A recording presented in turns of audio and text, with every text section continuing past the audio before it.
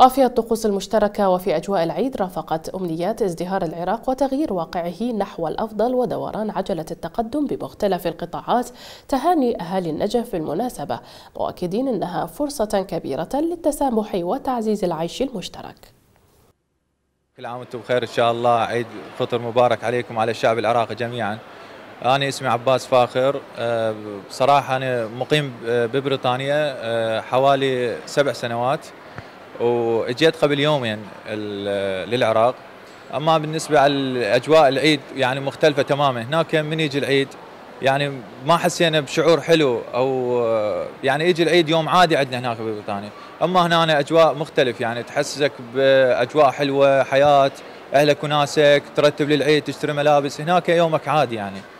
يعني جدا يوم عادي. وأنا بالمناسبة عفت دراستي وعفت شغلي في سبيل في سبيل هذا يوم العيد.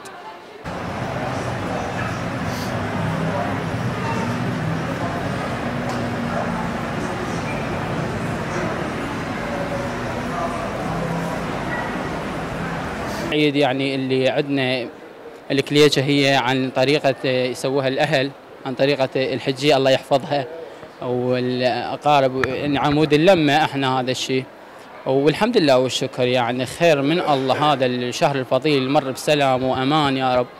ويا رب نقول نقول يكون يتغير من واقع الشعب العراقي من حال إلى أفضل حال يا رب. وعليكم وعيد مبارك علينا وعليكم وهذا الشهر العظيم. وأحب أبارك لنا وللشعب العراقي. وقبل شوية كنا يعني من الأهل كانت نكهه العيد كلش تختلف عندنا. قبل شوية يعني عايدنا الأهل والقرايب والأصدقاء.